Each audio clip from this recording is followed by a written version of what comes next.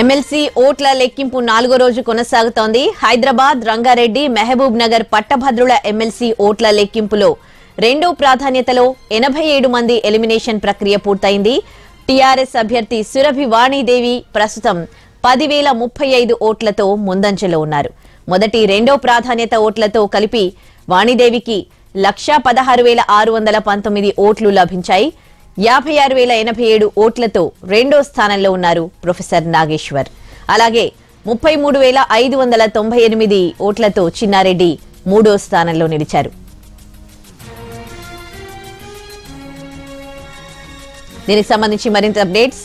హైదరాబాద్ సరూర్ నగర్ నుంచి మా ప్రతినిధి రాజు లైవ్లో అందిస్తారు. రాజు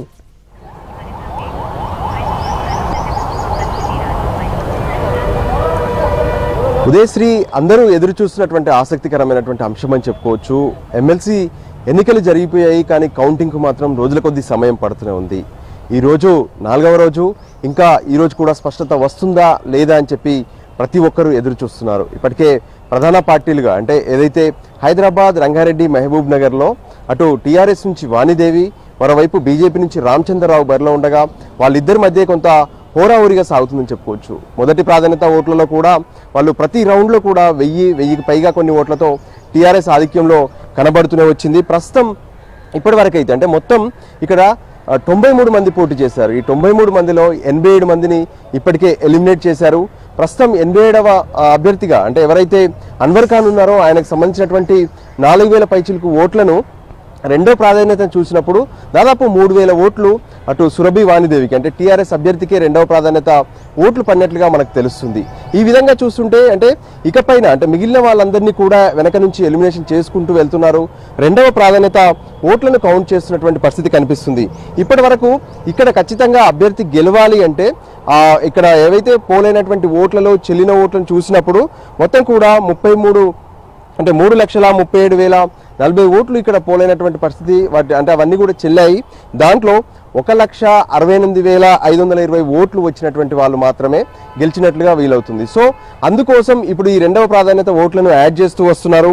ఇప్పటి వరకు అంటే ఇక్కడ జరుగుతున్నటువంటి తతంగంలో ఎనభై ఏడు మంది ఎలిమినేట్ అయినప్పటికీ కూడా మిగతా వాళ్ళు ఇప్పుడు అన్వర్ ఖాన్ ఎలిమినేట్ అయిపోయారు. ప్రస్తుతం ఎల్ రమణ టీడీపీ తెలంగాణ అధ్యక్షుడు ఎల్ రమణను కూడా ఇప్పుడు ఎలిమినేట్ చేశారు. ఆయనకు సంబంధించినటువంటి దాదాపు ఆరు వేల రెండు వందల ముప్పై ఆరు ఓట్లను రెండో ప్రాధాన్యత కోసం లెక్కిస్తున్నారు.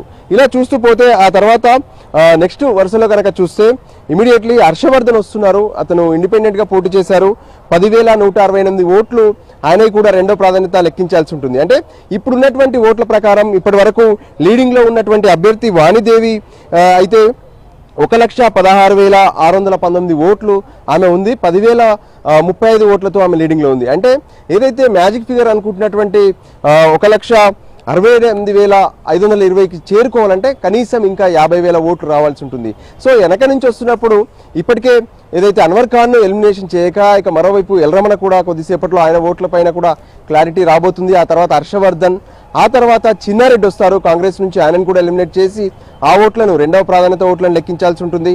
ఆ తర్వాత ఎమ్మెల్సీ నాగేశ్వర్. ప్రస్తుతం ఇప్పటి వరకు నాగేశ్వర్కు సంబంధించినటువంటి ఓట్లను చూస్తే యాభై ఐదు వేల ఏడు వందల నలభై రెండు ఓట్లు నాగేశ్వర్కు ఉన్నాయి. సో వాటిని కనుక రెండవ ప్రాధాన్యత లెక్కించినప్పుడు కొంత ఈ ఎవరైతే ఇప్పటి వరకు బరిలో ఉన్నటువంటి అంటే ఇద్దరిలో ఎవరికి ఎక్కువగా చీల్తాయి ఆ రెండో ప్రాధాన్యత ఓట్లు ఎవరికి పడతాయి అనేది చాలా కీలకంగా మారుతున్నటువంటి పరిస్థితి కనిపిస్తుంది. మొదటి నుంచి కూడా లీడింగ్ అనేది టీఆర్ఎస్ కొనసాగుతున్నప్పటికీ కూడా అది పెద్ద ఎత్తున లీడింగ్ అనేది లేదు. అంటే ఇప్పటికైతే పదివేల ముప్పై ఐదు లీడింగ్ కనిపిస్తున్నప్పటికీ కూడా మరి ఈ ఎలిమినేషన్ చేస్తున్నప్పుడు రెండవ ప్రాధాన్యత ఓట్లను పరిశీలిస్తుంటే కొన్ని ఓట్లు టీఆర్ఎస్కి పడుతున్నాయి మరికొన్ని ఓట్లు అటు బీజేపీకి పడుతున్నాయి మరికొన్ని ఎమ్మెల్సీ నాగేశ్వర్ కూడా అటాచ్ అవుతున్నటువంటి పరిస్థితి కనిపిస్తుంది. ఈ నేపథ్యంలో మిగతా వాళ్ళందరినీ ఎలిమినేషన్ చేస్తే తప్ప దీనిపైన క్లారిటీ వచ్చే అవకాశాలు కనిపించట్లేదు దాంతోపాటు అటు జిహెచ్ఎంసీ అధికారులు అంటే ఏదైతే ఎన్నికల సంబంధించినటువంటి అధికారులు కూడా కొంత రెండో ప్రాధాన్యత ఓట్లను త్వరగా లెక్కించాలనే ఆలోచనతో ఇప్పటి వరకు అంటే ఇరవై ఎనిమిది టేబుల్ అని పెట్టారు. ఆ ఏజెంట్లను కూడా అవకాశం కల్పించినటువంటి పరిస్థితి కనిపిస్తుంది. ఈ నేపథ్యంలో ఈ ప్రక్రియ ఈ రోజుకు ఖచ్చితంగా ముగిసేలా మేము ప్లాన్ చేస్తున్నామని చెప్పి అటు ఎన్నికల సిబ్బంది చెప్తున్నటువంటి పరిస్థితి అయితే స్పష్టంగా కనిపిస్తుంది. ఈ నేపథ్యంలో ఈ రోజు కనుక హైదరాబాద్ రంగారెడ్డి మహబూబ్ నగర్ సంబంధించి ఫలితాలు వస్తే బెటర్గా ఉంటుందనే ఆలోచనతో వాళ్ళు కొన్ని ప్రయత్నాలు చేస్తున్నారు.